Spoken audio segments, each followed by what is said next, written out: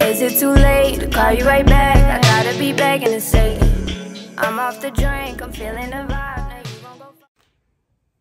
Awesome, awesome. Welcome to Temperature Check Thursday, family. So we're just gonna go ahead and get started.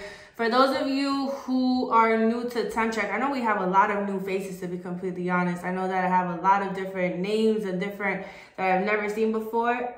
just so everybody knows, I have been very, very sick. I basically forced myself out of bed today, but you know, temperature check call is something that is almost like a promise that I made to myself and something that I I refuse to to have a cold or anything like stop me from actually doing. You know, like it's something that I look forward to. I plan for this call every single week. And you know, I do everything with love. Like, you know, I plan hard for it with love. And so just bear with me guys. I'm gonna push through this. Um, don't let my face fool you. I put some face on, but I look like a dead person walking right now. But with that being said, guys, Welcome to Temperature Check Thursday. I know that a lot of you are very new to this. I know some of you, it might be your very first day. I see somebody said right here that from Mornings with Neno. Okay, yeah, this Monday was a little bit of a, a nice little up for my numbers. But welcome to Temperature Check. So the reason from the Temperature Check calls, right, where it all came about, it was because myself and Katie were speaking and like you know we have a lot of calls uh, throughout the week in our organization where it comes down to like building and it comes down to like you know the skill sets and things like that but the, the technical aspects. But you know I felt like there wasn't enough being shed upon attention shed upon like mental health and like just like checking people's temperature, like where you are at throughout the week. You know, I feel like it's on a Thursday, so you're sometimes you might have had a really rough week to begin with. I like to for you to kind of decompress on a Thursday and jump into your weekend with a different type of mindset, you know, different type of energy. And that's what we're really here for, like to shift energies. Even though right now my energy's a little bit, you know, I'm working with it, I'm pushing through it, but here we go. So nonetheless, today I'm just gonna go straight into it the subject for today that I really wanted to cover is rebranding yourself. Okay, so I want to get into the whole aspect of rebranding because being at the fact that we're going into um, the new year, right? Everybody usually likes to come up with a New Year's resolution. Um, they like to set a, a small goal because in reality, that's really what I think a New Year's resolution is summed up. It's a small goal because think about it. It's something that's done almost like out of impulse if you go to the gym, you know that in January, the gym is completely packed. January, February, you gotta wait for, to actually touch a machine. But that's because if you really think about it, by March, people start weeding themselves out. That goal that they put so much thought into, it completely just, it, it kind of just starts like watering down, right? So with that being said, a lot of people like to think of it as like rebranding themselves, like, or that's how I like to think of it. Like it's a it's a temporary goal whenever it comes down to these New Year's resolutions. But I want to actually make it something that's a lot deeper. I feel like you should be writing resolute these New Year's resolutions on a daily basis. What do I mean by that? It comes with rebranding yourself, right? So I want to get into the action behind rebranding yourself. When you think of a brand, you think of a statement, um, a symbol, maybe even an icon. And a lot of us here are entrepreneurs or on the path to become like on a full blown entrepreneur path, right? So, however, it's a really big role to take on. And why? Because you're self-employed, right? So with that comes you being your own brand. You become your very own brand. And everything you say or do becomes a reflection of who you are. So with that comes a lot of pressure. But how we protect our brand identity is a simple quality control, right? So what do I mean by that? When a lot of you do know I come from a fashion background. So when in fashion, we got a piece, right? It can be it can be a sample and we have to take multiple revisions on the item before mass producing it. So we have to hit the drawing board. On like on there is where we create the whole concept for the brand, select the design, put it into sampling, and sampling can take anywhere between three to five different revisions, and then boom, mass production occurs. So you happen to be the highest quality product that you will ever have to present right? To anybody. So you must hit the drawing board. So you have to really dig deep and be like, what is your niche? What is your purpose and why? And what identity are you looking to pour into your people, into other people? Because when you mass produce, that really comes by you mentoring, right? So you see, with that, it, it brings a lot of pressure. But these like these are products that are that are gonna these are products of like a, a long-term result like, where are you now? A lot of people might still be discovering their voice. Some are just figuring out what their niche is, and others haven't even scratched surface, which is okay.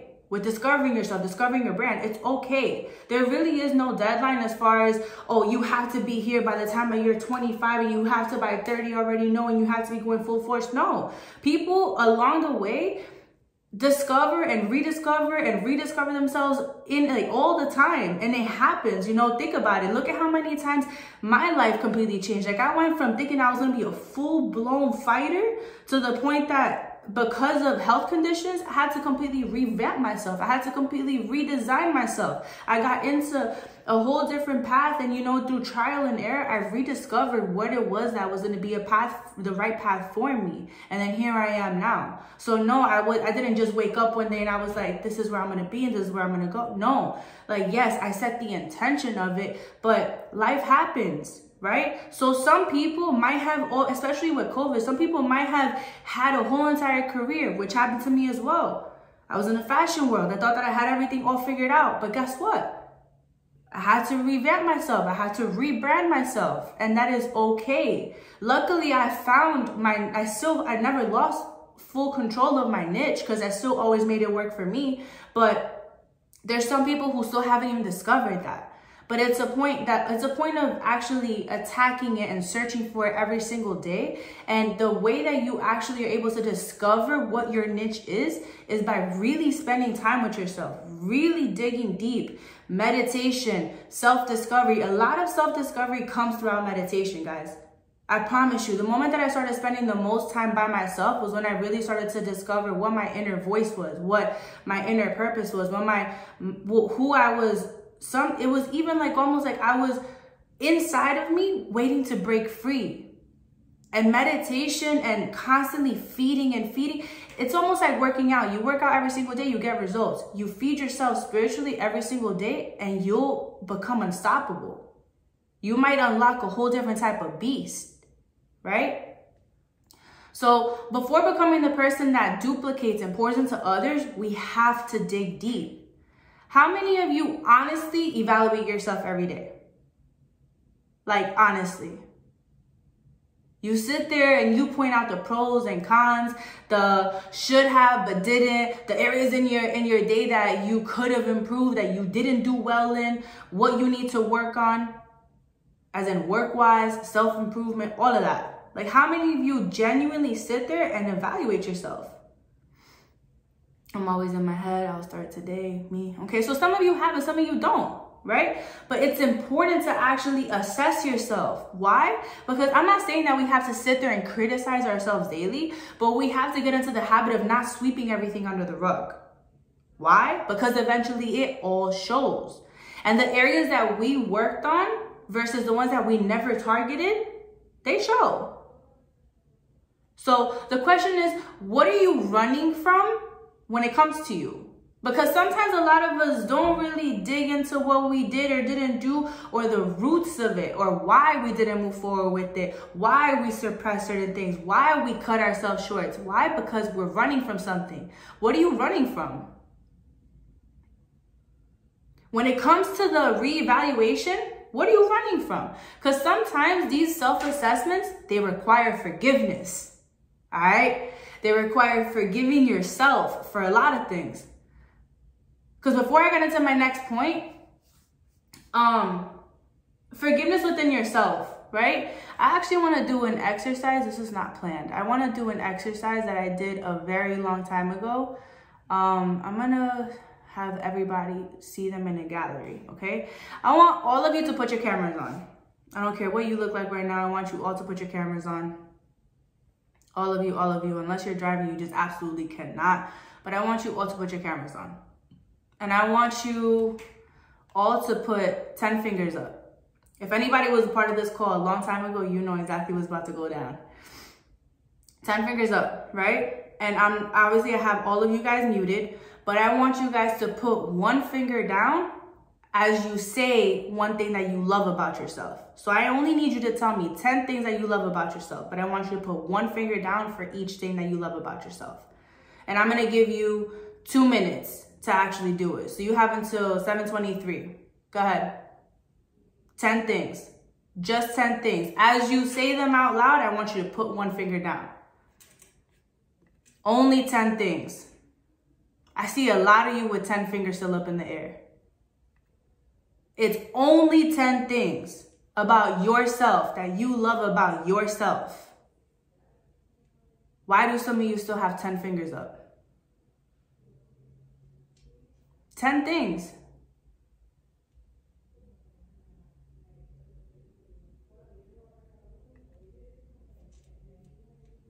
Wow, I still have some people with 10 fingers up. Why are you struggling to tell yourself 10 things that you love about yourself?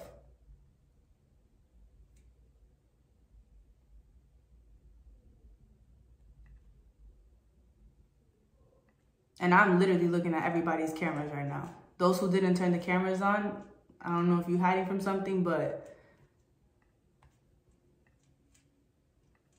only 10 things. I still have one, two, three, four, five, six people with fingers up.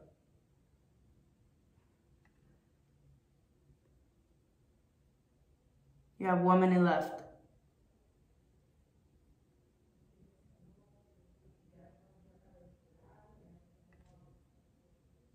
Harder than it looks sometimes. Acceptance.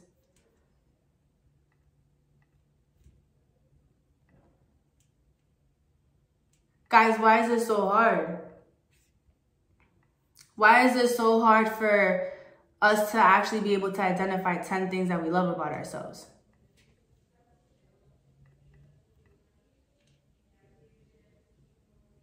It's crazy, right? So the first assignment that I want you guys to actually complete is I want you guys to forgive yourself.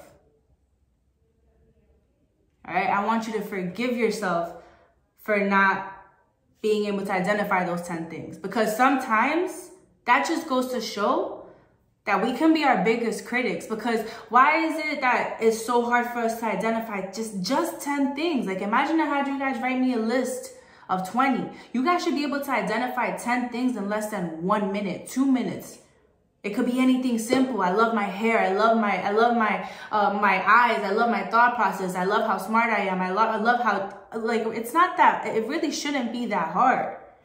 So I want you guys to forgive yourself. I need you to forgive yourself. Forgive yourself for not being able to identify how great you are. Okay? I need you all, all to the same exact way that you write these New Year's resolutions. I want you to write yourself a letter of forgiveness because after comes the rebranding to enter the new year. Okay? We're because we are going to rebrand ourselves. Resolutions are temporary. We don't do temporary results here. We want long term. Okay? We establish legacies around here. I only talk to legends. I only pour into legends. Why? Because I plan to be a legend. So legends, I want you all to forgive yourself. Forgive yourself for the goals that you didn't achieve, the ones that, that you never set because you doubted yourself. Forgive yourself for the self doubt, the comparisons, the times that you looked in the mirror and you depicted 20 to 30 things that, that about yourself that you didn't like. The fact that you struggled to say 10 things that you love about yourself.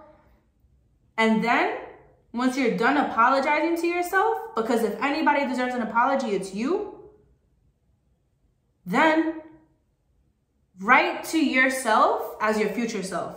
I want you to write a whole letter to yourself. Pretend that you're already there. Pretend that you're already that future self that you want to be, right? Your rebranded self.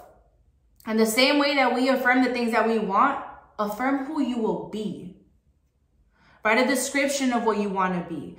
What qualities of your personality do you love right there as your future self? What are your assets? Like, what are your hobbies? What are your strong points? What are your weak points? And now, once you write that down, meet yourself halfway. Put them into action. Bring that out of you. And get into the habit of being able to identify with feedback.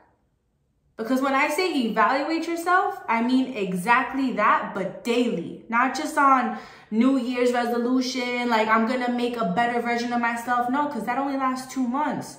You ain't gonna do nothing in two months. Like reevaluate yourself and set a resolution daily. Go to sleep and wake up and say, okay, I have goals to achieve today. Cause like that, they're not temporary. Every single day you're attacking something else and something else and something else and something else, and then you become great. Don't just be great temporary. Who wants to do that? Temporary results? That's whack. So, what did you do wrong? When you evaluate yourself, I want you to ask yourself, what did you do wrong? Okay, how could you have done that better? What did you talk yourself out of doing? Okay, and then ask yourself, how will you overcome that fear in the future? There's a root to everything that we do and don't do. And family, sometimes it comes from traumas, past traumas, but traumas only exist for as long as you allow them to. Oh no, I can't do that because last time I did that, I failed. Okay, and why did you fail? What mental state were you in back then? How did failing make you feel? What could you have done better? Analyze that and then fucking do it. If you fail, again, reevaluate all over and do it again. Don't just sweep it under the rug. That's, that's a weakness. Failing is not a weakness. You're only weak when you stop fighting. Okay? You're only weak when you stop fighting. You're only weak when you stop swinging. Yeah, you might you might swing with a lot less strength, but guess what? You're still swinging. You're only weak and lose a fight when you stop fighting. So don't just sweep it under the rug. And for everything that you did sweep under the rug in the past, forgive yourself. Reevaluate it. And you either move past it, but you move past it in peace, or you revisit it. Why did I never get that part? Why did I never finish that project I started? Was it because I didn't believe in myself? Okay, let me revisit that. Some things, maybe you face something in and you maybe when you maybe when you face something that you gave up on you lack the maturity that you have today to actually achieve it. That's okay. But because we're not perfect. It hurts. Yes it hurts but so does like kd told me the other day it hurts but so does alcohol when you put it on an open wound. But guess what? You have to put the alcohol on there to disinfect it to allow it to heal properly also, ask yourself, did you really fail or did you fail in comparison to something or someone else? Because unfortunately, we live in such a superficial world where comparisons determine if we achieved or failed. I'm sorry to tell you, it's like smoke and mirrors. Like, when in reality, more times than not, you are exactly who you've been looking for. Guys, sometimes a lot of us are like, oh, I wish I could be more like this person. This person has these traits. Oh, this person's so successful because they have this and this and this and that. Remember, people only show you what they want you to see. So you're comparing yourself to something that is not even real, something that's superficial, something that is not real okay? And a lot of times, guys, you are exactly what you've been looking for. You just haven't unlocked it yet. You just haven't given yourself the opportunity to yet. You just haven't fed the right portions of you. You haven't given yourself the certain parts of yourself the right amount of time to unlock it. But really, all along, you are exactly what you've been looking for. Because that empty feeling that you have in your chest, that feeling that something is missing, the only reason that you have it is because you're still searching for something that you think you need. Treat yourself like someone that you actually loved. Sometimes those flaws that we like we're so hard on ourselves for, they're not flaws. They're a reflection of the doubts or what you consider to be imperfection. But I need you to right now say it out loud. I am who I've been looking for. And I need you to say it. Like, I need you guys to actually say this word, like word for word. I am who I've been looking for. And say it, but put your hand on your chest so you can feel it. Because when you feel words, it actually becomes that much more real. When you feel money, it, it feels real, like it's yours. You feel like it's yours. Put your hand on your chest and say those words. I am who I've been looking for. Feel that. That's how real it is. And now, forgive yourself. Because a person who can't forgive anything is a person who's destroyed psychologically and emotionally. And most people run around empty. Don't be that. Be a working progress every single day. Give up the hope that the past, the, give up, give up the hope that the past um, could be any different. Like it's not accepting that it that it was okay to happen to you. It's accepting that it has happened to you, and not holding on, not wishing that you were in better control. It's not a oh I should have, I could have, I didn't. No, it's not that. Like, forgive yourself. Let go of certain things. A lot of y'all carry a lot of extra baggage for no reason. Like, and then you wonder why you can't move forward. Look at all the baggage you got. Oh, I never did. I should have. I could have. I ne- no. Shut up. Like, let go of that. That's how you achieve the next level of being a better person. Do not let your past hold you prisoner. Do not allow it to hold you hostage because your past will, like your your past could, your past could have been earlier today. Two o'clock in the afternoon, that's considered the past. But the power of daily evaluation is what put it like this. If they say that your past your past don't let your past hold you prisoner, right? If you evaluate yourself daily, that means that you're not going to be dragging that. That means that you that you yourself are allowing yourself to not be a prisoner of your past because you're assessing it, you're facing it, you're confronting it, and then from there you're actually healing from it. So, are you going to allow yourself to serve a life sentence as a prisoner? Or are you gonna just, what's, what's easier? Bail yourself out the same day. Like what's less painful? You have control over it. You have full control over your life. So forgive yourself daily and do not let your past hold you prisoner. Because whatever experience that you that you're having right now, it's not to stay. It literally is to pass. This too shall pass. I literally got that tattooed on my arm. This too shall pass. Put it into perspective. Let it go. Shit happens. Move on so you can grow. And it doesn't matter what happened to you. Like, it doesn't matter what happened to you. What are you going to do about it? Because you are in charge, family. So being not where you want to be starts with being who you want to be, right? What's going to kill your dream? Like, what's going to kill your dream is your approval from other people. Stop giving other people power. I need you all to rewrite your story, the whole narrative. Rewrite it. Enter, enter this new year with a game plan already. So rewrite your narrative. This is your story. You are your brand. And sometimes, like someone else doesn't like it, guess what? Who cares? They should be focusing on their damn branding. This is your brand. What you do, what you do and don't do for your brand reflects. No one's gonna go buy a pair of dingy forces from from like. Are you gonna pay top dollar for a pair of dingy forces? No. So it's your brand. What are you gonna put yourself? What are you putting forward? What are you selling? But we need to take charge and and with power because this is all a part of just showing up for yourself, family. We don't have a story to sell. We have a story to tell.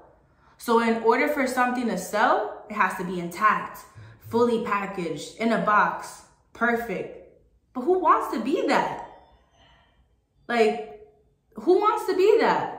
Who wants to be a little Barbie, a little Ken packaged up? Nobody.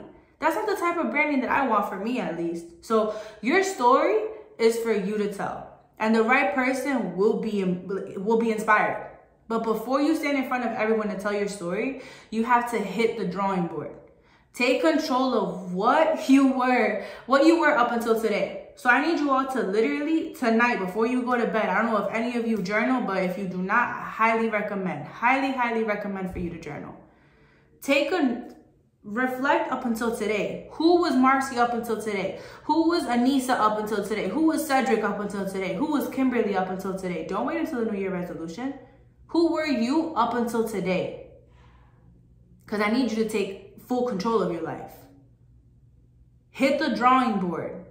Take control of who you were up until today and design your future. And give yourself room to mess up. Okay? You're not going to get it right the first shot, and that's okay. You might have three, four, five, maybe 10 revisions, but revise. And how do we revise? We evaluate and then we adjust with no comparison, but the standard that you select for you and your brand. And once you, you're done with the revisions, mass produce. Because your legendary story is meant to inspire.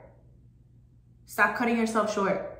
Stop cutting yourself short to comparisons because when you die, people people who are so obsessed with what other people think about them never really fully discover their full potential. So fulfill you.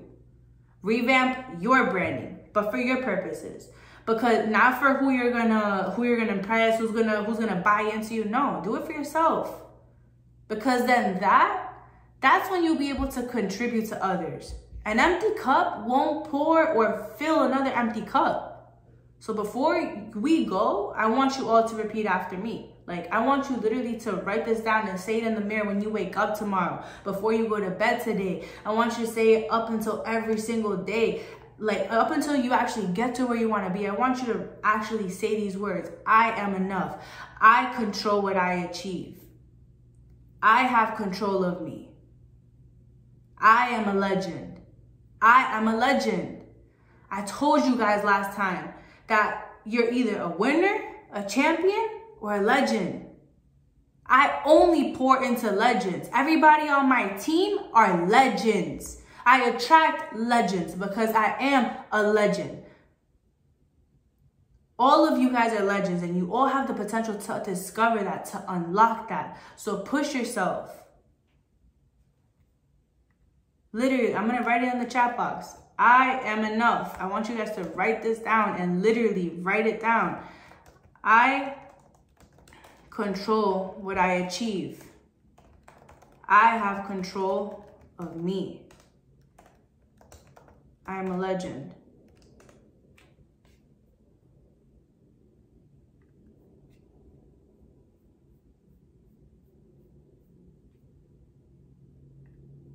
Who's gonna revamp themselves? Because the next time that you guys actually come onto this call and I do this whole little put your put your 10 fingers up, I'm gonna give you one minute. I'm not gonna give you three. That was way too, and you know what? You know what's crazy? The first time I ever did that whole little challenge thing, I gave people two minutes. And two minutes didn't seem like enough time. I was like, you know what? Maybe I, uh, maybe people can't talk too fast in two minutes, right?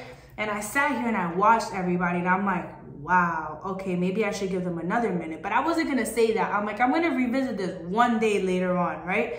And I did it today. I gave y'all three minutes, and I still have people with hands up. I had people that that I don't know if they had their didn't turn their cameras on because they were doing something. I don't know if they didn't turn their cameras on because they knew they weren't gonna be able to face me. They knew that they weren't gonna be able to say 10 things. But those of you who are bold enough to turn your cameras on and stay here and say 10 things that you loved about yourself, I give that to you. The ones that admitted that it wasn't easy, I give it to you too. Because you're acknowledging the fact that you're gonna have to dig deeper.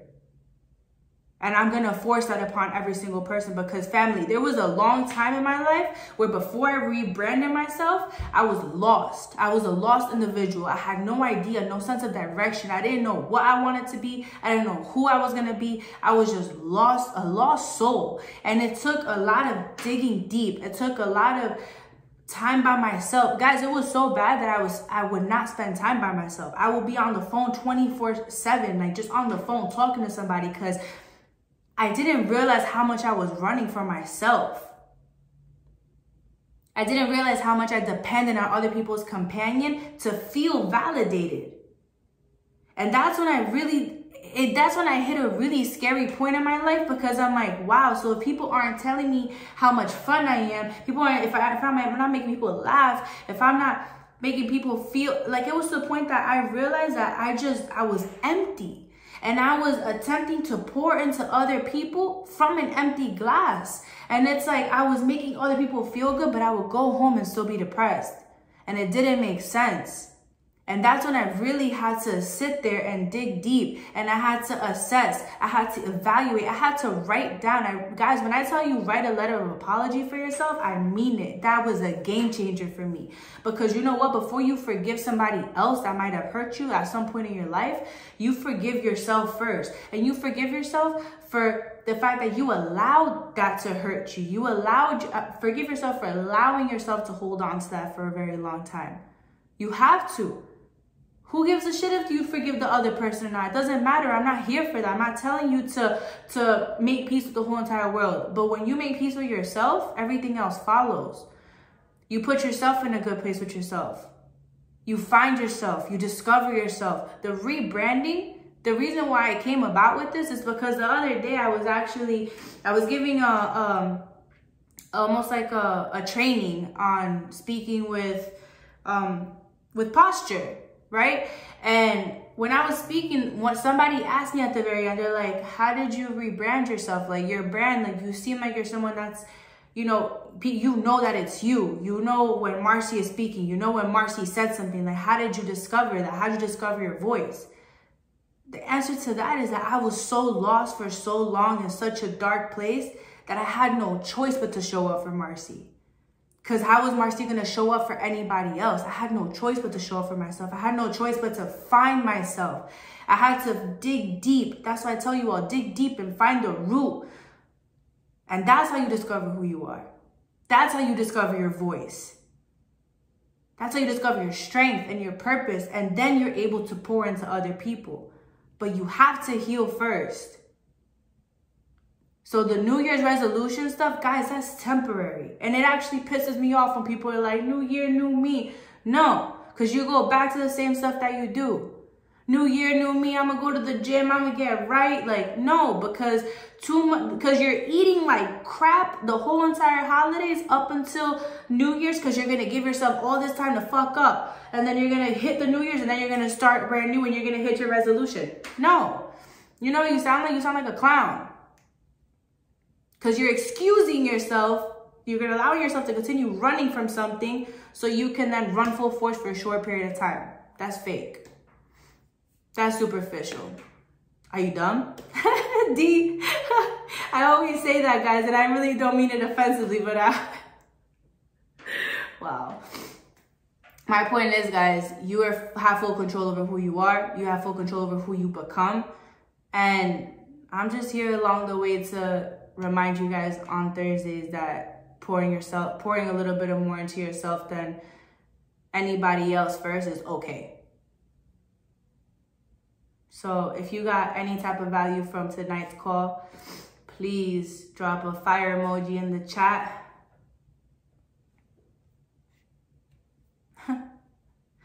Thank you to everybody that was a new face today, guys. Honestly, thank you. I love it. I love it. I know Mornings when with Neno this Monday brought a lot of people in.